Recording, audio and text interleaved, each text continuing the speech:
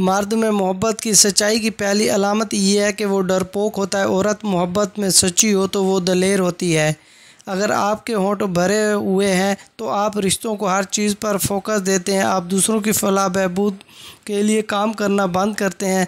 अगर आपके होंठ पतले हैं तो आप इंतहाई पसंद हैं। आप अपनी तो से बढ़कर काम करते हैं। जिस औरत के चेहरे पर डिंपल पड़ते हैं, वो औरत ज़िंदा दिल होती है। मोहब्बत और कामयाबी हासिल करने के लिए दो चीज़ों को कंट्रोल में रखें, नफ़रत और गुस्सा, क्योंकि ये दोनों जीती बाजी पलट सकते हैं। नफ्सियात के मुताबिक टांगे पेट के साथ लगा कर सोना, इसे आप सख्ती शख्स ज़ाहिर होते हैं, लेकिन अंदर से हसास और शर्मीले फ़र्द हैं। उल्टे सोने वाले लोग आपको हर चीज़ पर कंट्रोल करना पसंद है, आप एक अच्छे जहन के फ़र्द हैं। साइड लेकर सोने वाले लोग आप भरोसा करने वाले हैं, फ़ैसला करने में काफ़ी सुस्ती है। सीधे सोने वाले लोग आप अपने ख्याल अपने तक ही रखते हैं। आप तवज्जो का मरकज़ बनना पसंद नहीं करते।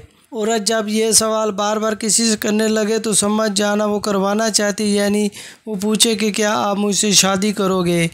जो औरत मर्द के साथ एक हरकत करती है तो मर्द उसकी इज़्ज़त करता है, कदर करता है और वो है मर्द के साथ मस्ती करना। जब एक ही दुआ तुम बार बार मांगते हो तो ये बहुत बड़ी निशानी है। अल्लाह ने तुम्हारी दुआ कबूल कर ली है। मर्द दूसरी औरत की तरह उस वक़्त जाता जब उसकी एक हालत होती है। क्या वो अपनी मोहब्बत बयान नहीं कर पाता, वो अपनी पसंदीदा औरत को। मर्द को अपनी मोहब्बत देना बंद कर देना फ़ौर अगर वो एक काम करना शुरू कर दे, औरतों के साथ बातें अपनी औरत के सिवा किसी और से मोहब्बत। जो मर्द औरत के ये तीन खुफिया अंदाज पहचान लेता है तो उसके प्यार में गिरफ़्तार हो जाती है। औरत ऐसे मर्द से प्यार करती है जो उसके काबू में रहे।